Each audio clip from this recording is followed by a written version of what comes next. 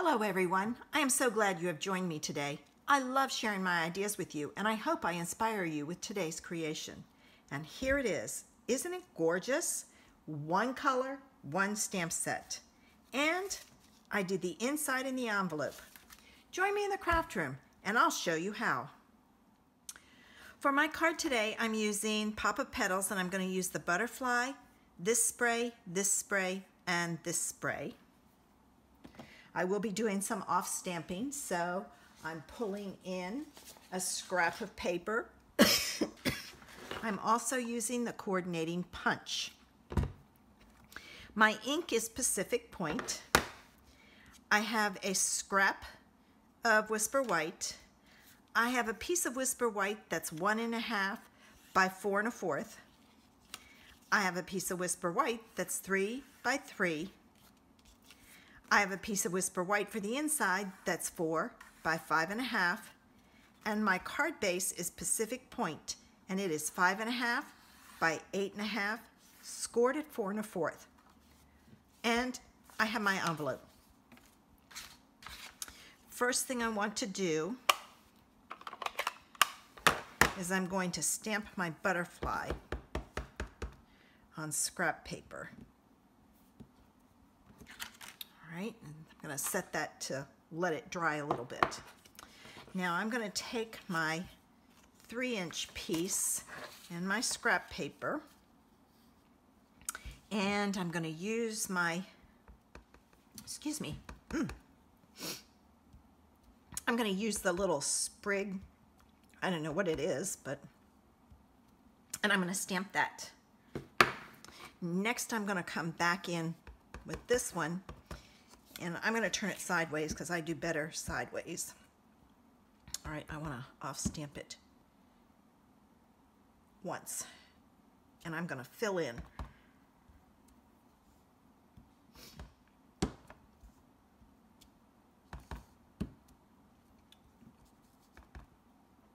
Almost forgot, that would have been a mess. All right, so I've filled that in. And now I'm gonna come with this one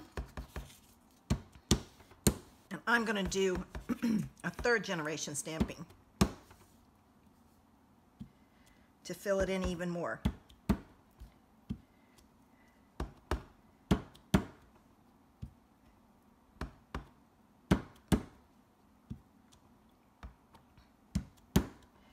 And I'm gonna do these little spots down here. Oh, there's one over here. There. Now I'm going to take my strip, the one and a half inch strip, and I'm going to use this one and third generation stamping and stamp all over.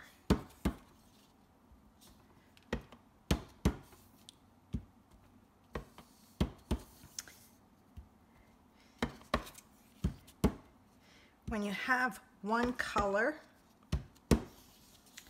you can add interest by using the stamps in your stamp set and just doing second, third, and even fourth generation stamping.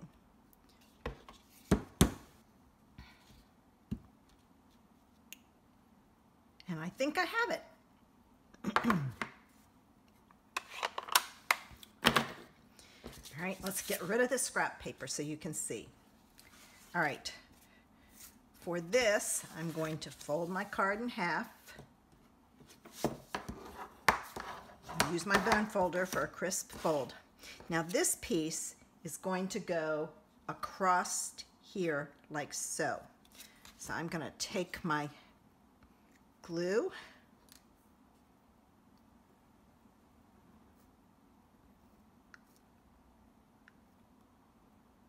Here it comes.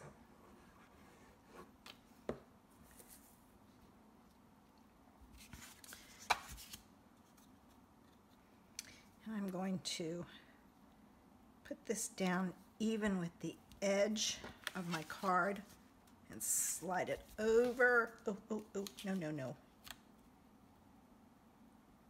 I should have had it folded to begin with. There we go. And I have just a tiny bit to trim off.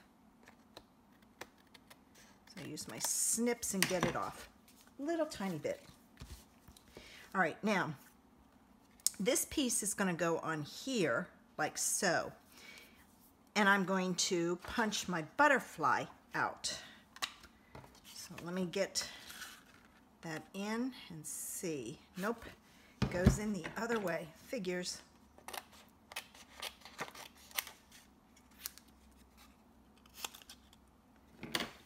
Let's see if I can get this in. Now I might need to take off a little bit more.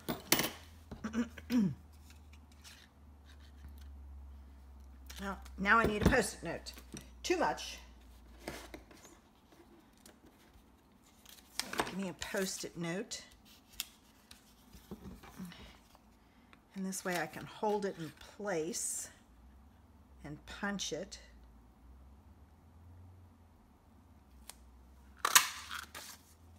All right, there. And I want to add a little bit of color to this. So I'm gonna use a blender pen.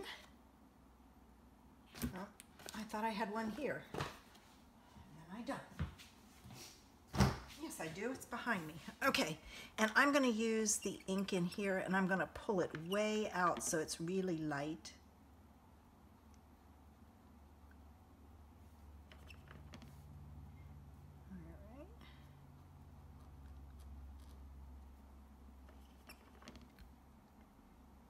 Just color key parts of the butterfly. and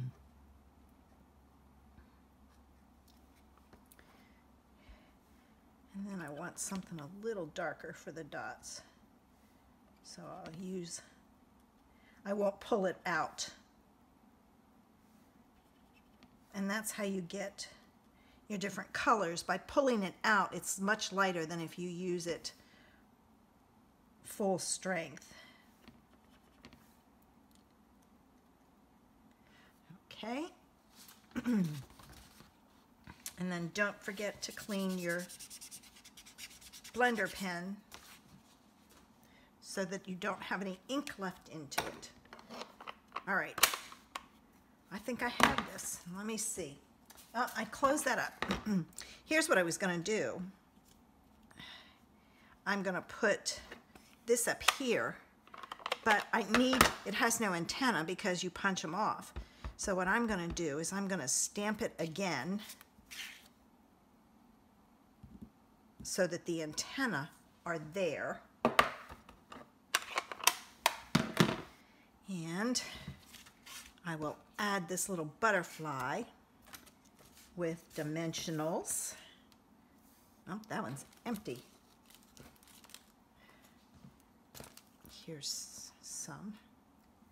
I'll just add this on here and I'm not going to, sometimes I'll add it in the middle and do up the wings. I'm not going to do that on this one. I'm just going to leave them flat. All right, now I got to take the backs off. All right, now I've got to get this on here correctly. So it's going to go like so. And then I'm going to put this up on dimensionals also.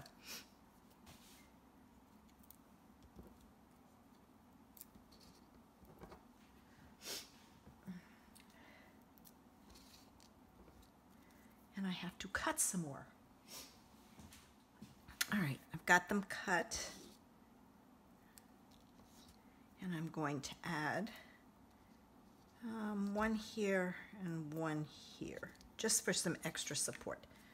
Take these backs off. And of course, the backs are all sticking to my fingers. And I'm going to put it right like so. Now, if you want to step this up a notch, you can emboss this background. Um, the layered leaves would look really nice with it. You could do a panel of the Pacific Point embossed on a white card. Um, so lots of different ways you can step it up. I like my bling, so I'm going to add some bling, some Wink of Stella to the body.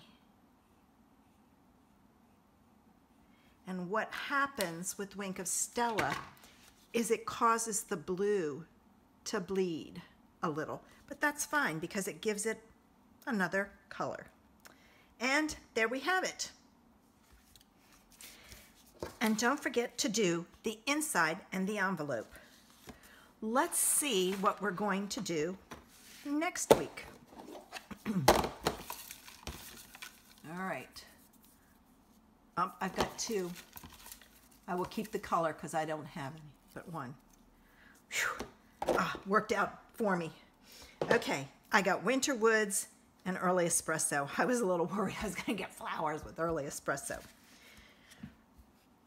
If you like my project, give me a thumbs up and make sure you subscribe to my channel using the button below. Don't forget to leave me a comment.